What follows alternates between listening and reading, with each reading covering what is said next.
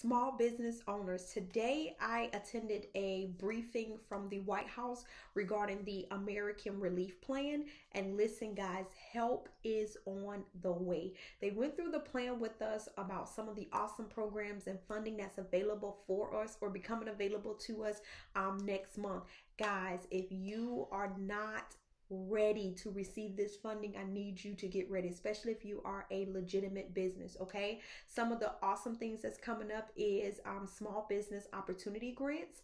Um, another opportunity that's coming up is some working capital for us.